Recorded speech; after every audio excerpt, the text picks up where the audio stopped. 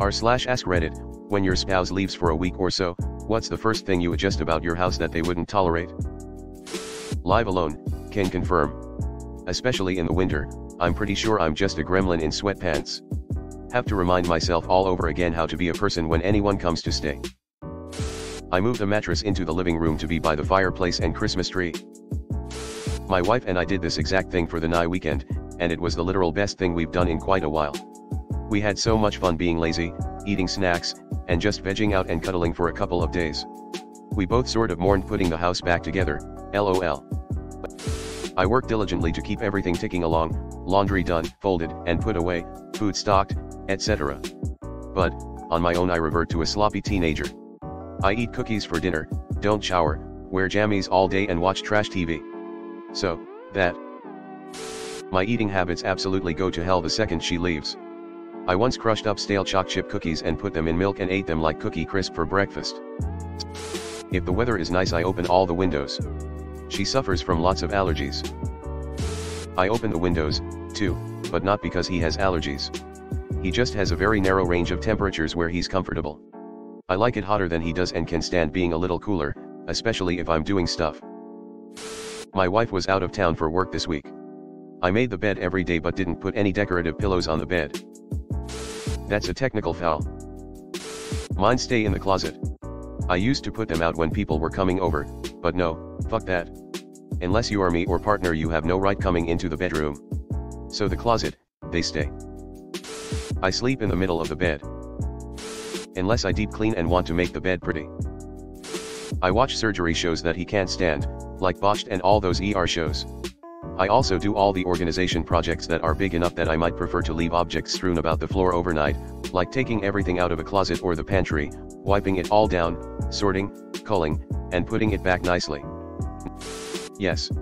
My husband doesn't embrace the idea that for deep clean and amp, tidies, things get far worse before they get better. I bring my laptop and some snacks in bed, eat, and binge watch whatever series makes me happy at the time. Oh I absolutely drink my coffee in bed when he's gone. It's the best. I worry my wife eats in the bedroom when I'm away. You have only made my suspicion worse. The sheets and towels get changed. My wife loves clean sheets and can't wait to jump into them. So when she gets home the bed will be ready.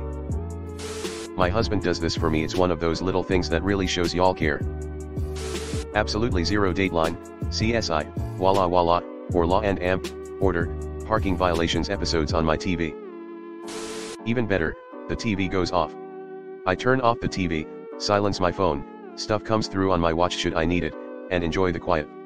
I read, clean, roam around the house, do laundry, whatever, but all in blissful QUIET with your limbs spread out like this. Hashtag X. Nothing with spaceships, aliens, superheroes, dystopian hellscapes, or football on the big TV. Parking violations. The dishwasher. I load it how I load it. No loud sighs as she rearranges it. LOL. I rearrange when he's not in the kitchen and out of sigh range. Nope, I will not rearrange. No sense on reworking things it just gets ran as is haha. I let my husband try his best and then when he says he can't fit the rest of the dishes in I fix it. Cook things he doesn't like. Mostly vegetarian stir fries, etc. I can't stand pineapple. When I'm gone, the first thing she cooks is some dish with pineapple. Good for her. All meals are eaten on the living room couch or in front of my PC and my laundry that doesn't make it into the hamper just stays on the floor. I've had the same load of laundry in the washer since yesterday morning. I've washed the clothes twice. We just call it middle bed and we each covet it. When I travel for work I get to hear about how wonderful middle bed is. Turn the ceiling fan off.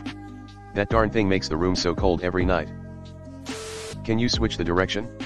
Many ceiling fans have a summer and winter setting. The winter setting spins clockwise, and actually makes the room feel warmer. Switch it when they're out? I bet they won't notice. Let the kitty sleep with me in bed. What kind of monster keeps cats out of the bed? I either turn the heat up or sleep in the middle of the bed. Why not both? Turn off the television. He likes the droning in the background. I don't. Same. Mine thinks I'm weird for liking the silence. My job is loud and when he's home the house is loud. I just want a moment of peace. He likes everything on the kitchen counter, I like the counters clear and clean so I can cook so as soon as he takes off, it all gets put away. I watch so many bad movies, teen dramas, horror, weird art house, you name it. I still only get my half, but the cat moves into her spot. If kids are gone also, I'd probably wake up whenever I want, make breakfast and lounge around on my computer, have a glass of wine with lunch, read and take a nap, maybe try to do something active and then be on my computer until dark and then I'd check the doors and windows multiple times and freak out about being alone in the house overnight, until I finally fall asleep, after putting the baby monitor in the kitchen so if someone breaks in, I'd hear them. I'm the one who travels, and when I come home my husband has all the overhead lights on in the house like a psycho. My slippers in the bathroom. He never says anything about them, but I move them out of the way as I leave them in front of the shower or sink often, and I know they are in his way. Curtains closed. All of them. House-wide man cave. Adjust the thermostat to a comfortable temperature. Strategic decluttering. Nothing she would notice missing, but plenty of things she would definitely see me carrying out the door if she was home. I feel this with a passion. She has no clue it exists and lives every day without it. Go to throw it away, and all of a sudden she needs it and has been saving it and has all these plans for it and it's so important. Three months later, throw it away without her seeing. It's been five years and she's never known. I turn the heat down. Up for me. I put the toilet paper rolls on the correct way. When my husband was out of town I found I liked using one side of the bed. When I got overheated I could always have a cool side to roll into. I don't do all the weekly cleaning that she likes me to help with on the weekend. The day before she comes back I hire a maid service to clean everything. I sometimes leave lights on or doors open and get away with it. My cooking. I eat what I like without consideration of my SOS tastes. This means spicy foods, like spicy ramen. Or maybe you'll pick up or make sushi. I'm am very happy to eat foods without meat. Something incredibly simple I like to have is a baked sweet potato with a little butter, salt, and pepper. I have a strange one. I clean when he's gone. Don't get me wrong I clean when he's here, but his work schedule is never consistent. When he's here, I either wait until he wakes up, or clean an area of the house that isn't near his office. When he's gone, I clean where I want, how I want and how loudly I want. When I'm done cleaning, I take a shower, change the bed sheets, and then bask in my clean empire. It's amazing. Poop with the door open. Probably something like leaving the ironing board set up. Move the gym equipment into the living room. Television into the bedroom. Computer desk into the bathroom. Make huge plans for all the stuff I'm going to do, then don't get any of it done.